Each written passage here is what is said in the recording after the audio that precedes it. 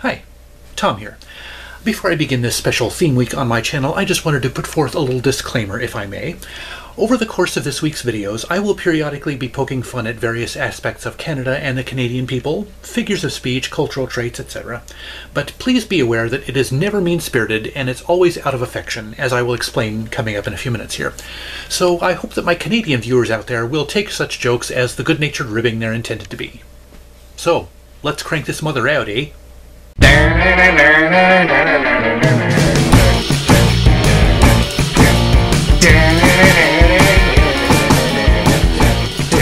one and all, and welcome finally to my second annual theme week here on Tom's Hit Parade. Uh, yes, annual at least in terms of occurring in consecutive calendar years, but if you're looking for annual to mean the same time every year, well, you're just asking for too darn much.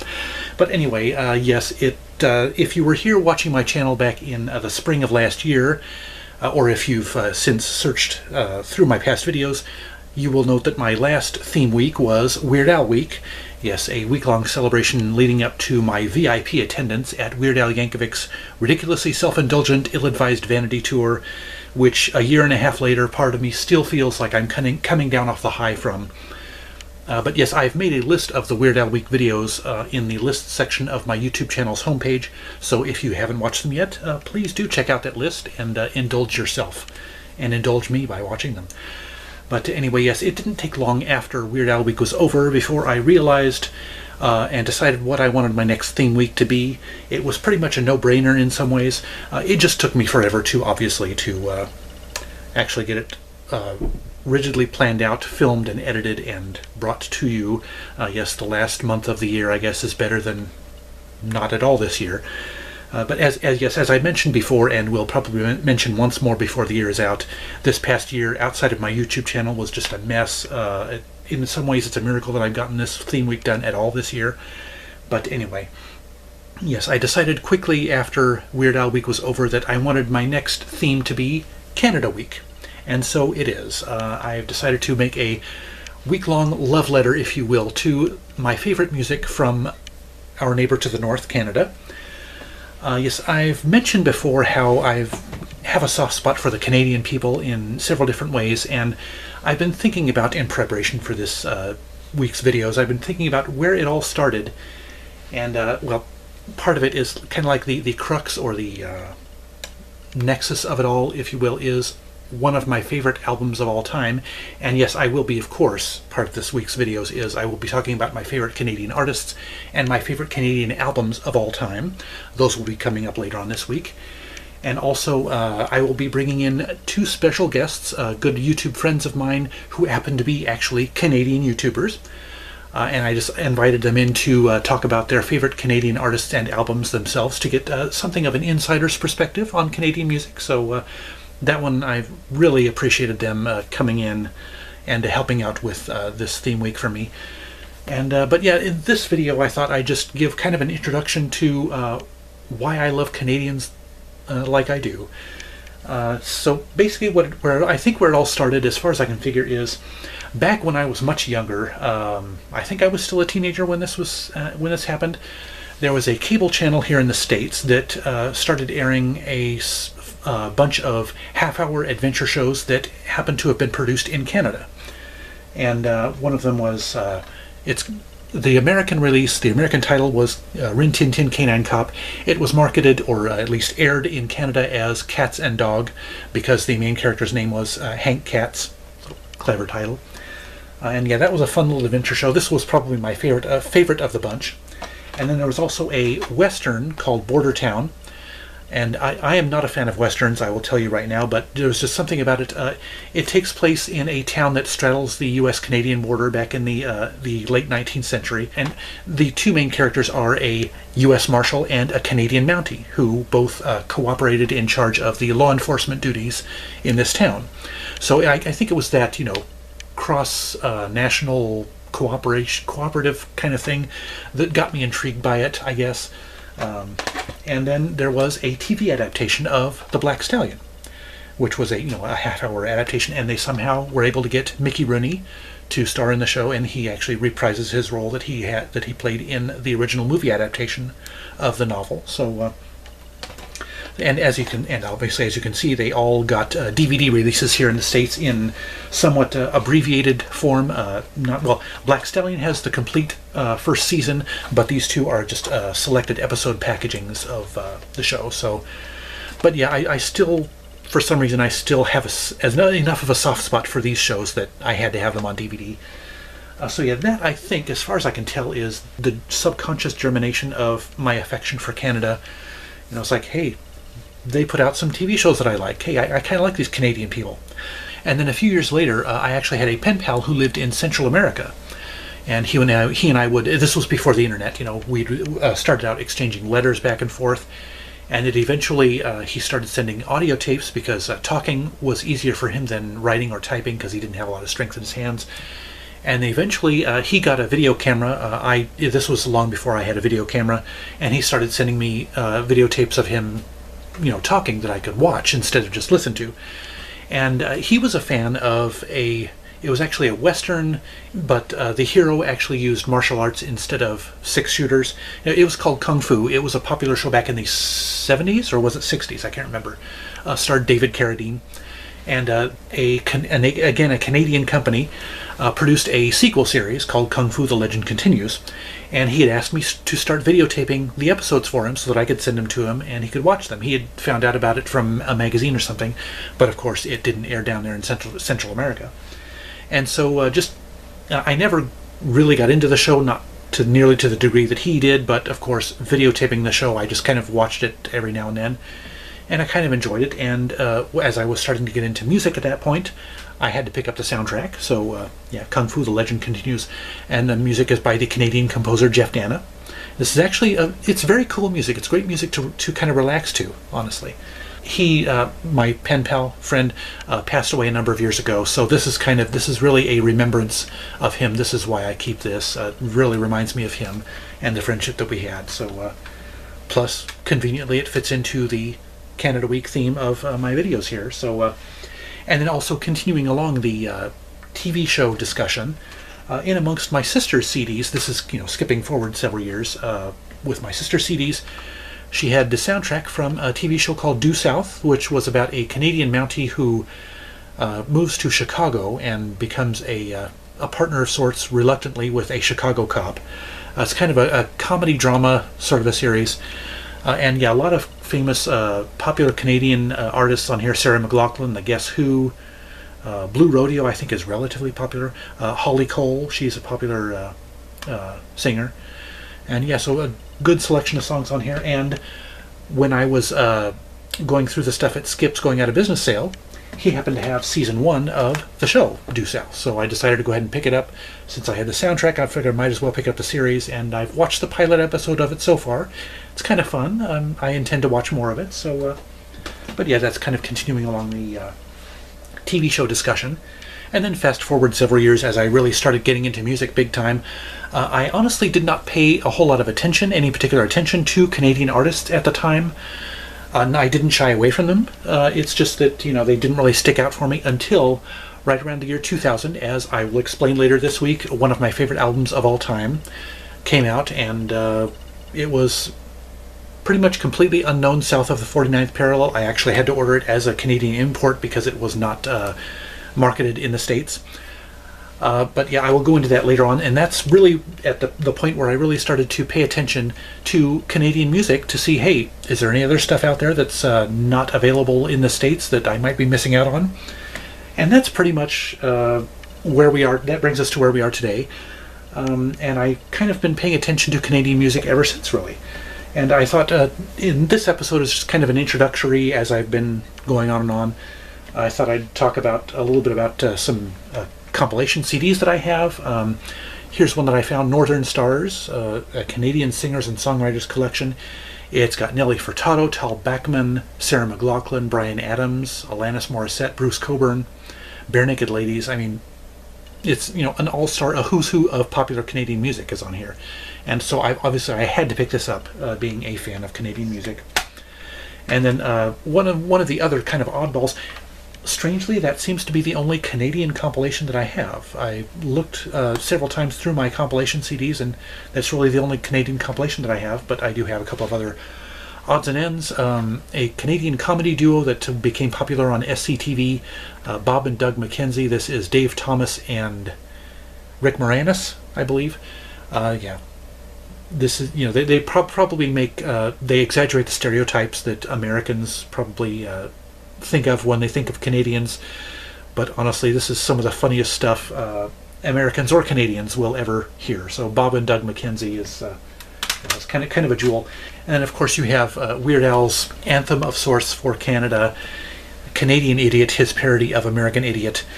Uh, it's it's probably a little harsher on Canadians than I would be, but uh, it you know still it's funny as hell. I mean, he obviously does it in total in total fun, in in jest toward Canadians. But uh, yeah, I can't help but laugh at that. Uh, out of, if nothing else, out of my affection for the Canadian people. And then I also have a handful of books here. Um, a couple of them are not music related. Maybe I'll get those out of the way first, but the other ones are music related. So you want to be a Canadian? Quite frankly, yes, I do. Uh, yeah, there, there's a list of things that I would uh, about America that would make me gladly surrender my citizenship and uh, emigrate to the land up north. Uh, this is mostly a tongue-in-cheek uh, guide for, uh, you know, citizenship and a primer on Canadian history and whatnot for people who uh, might want to actually, uh, you know, move to Canada and become a citizen. It's a very funny book, and it, it's kind of its companion volume written by the same pair, Kerry Colburn and Rob Sorensen.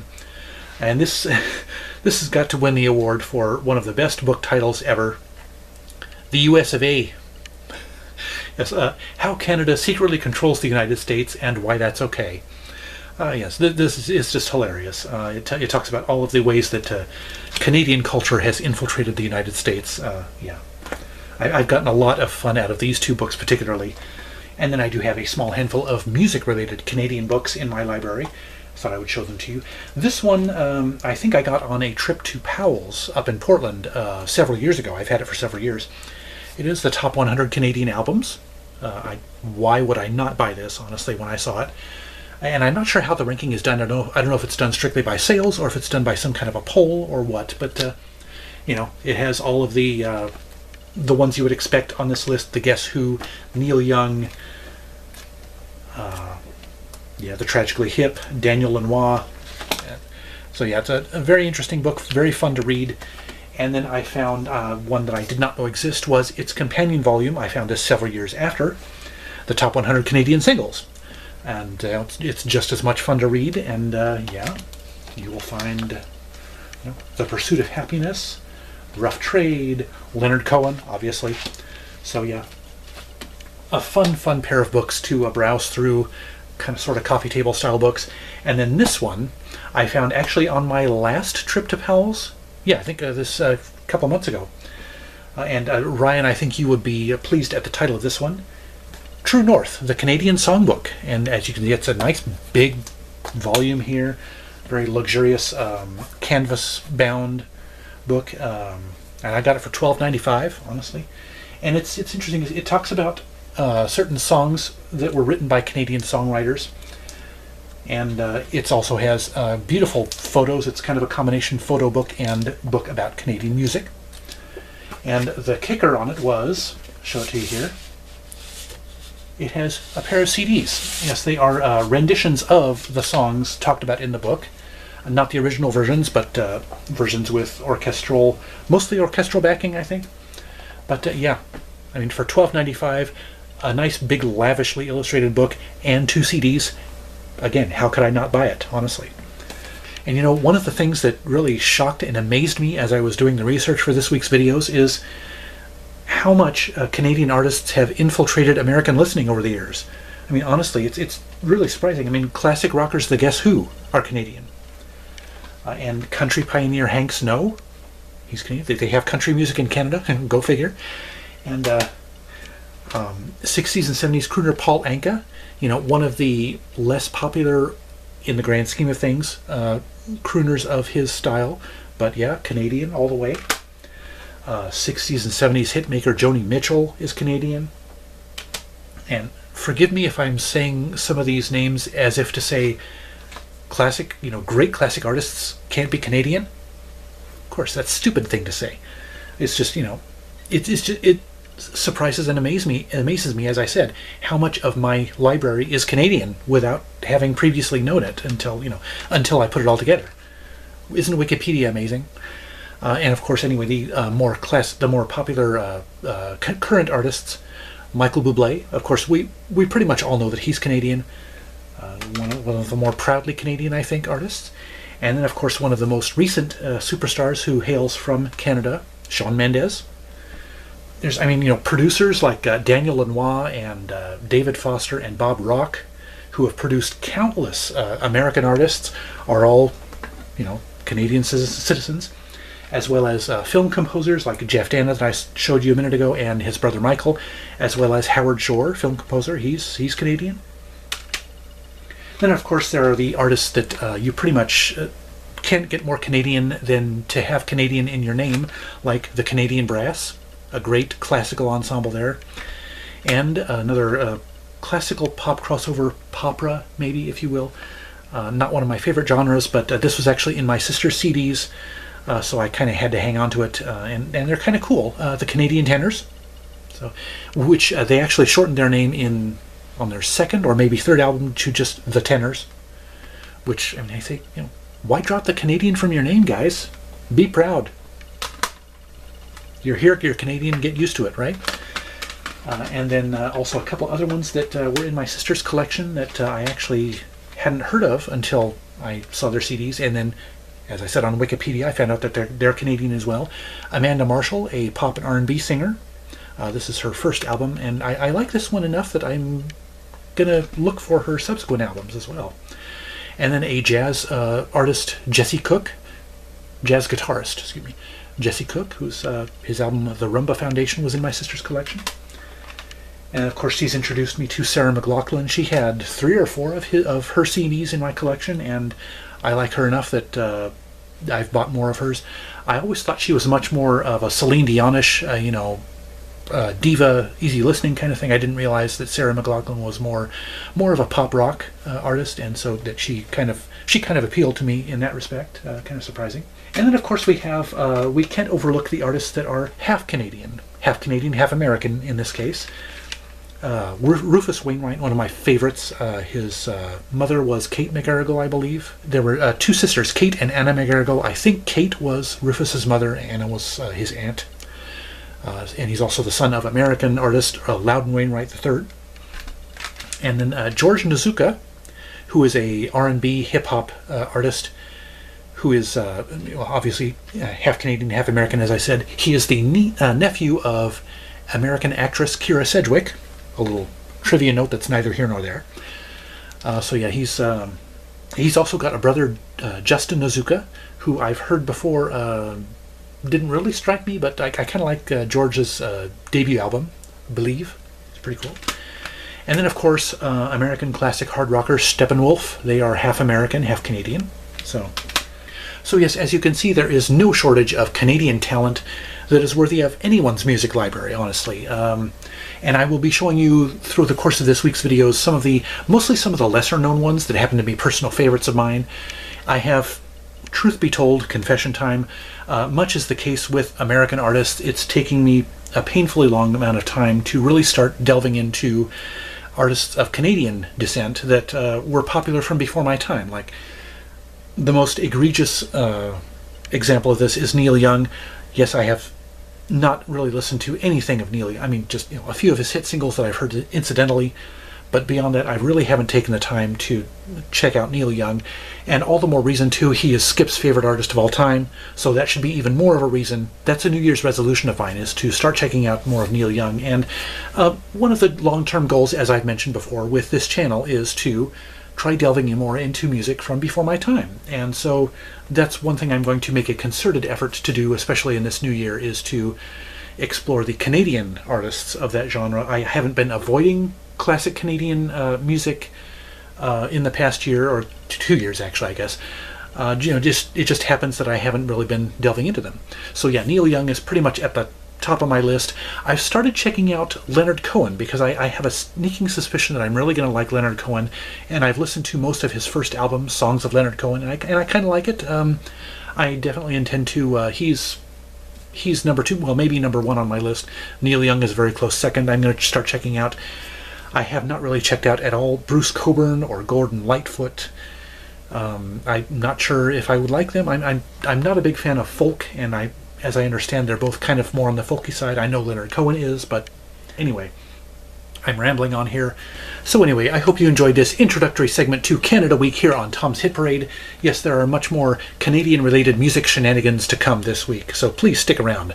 Anyway, that's it for this video. I hope you enjoyed it. Suggestions, questions, constructive criticisms, lay them on me in the comment section below. Also, scroll down to the description for the link to my Twitter feed and links to my favorite fellow YouTubers who are all worth checking out. And don't forget to subscribe to my channel and browse my past videos, and be sure to ring that notifications bell so you'll be the first to know each time I drop a new video. Otherwise, thank you so much for watching, I'll see you next time, and remember, life's too short to be a music snob.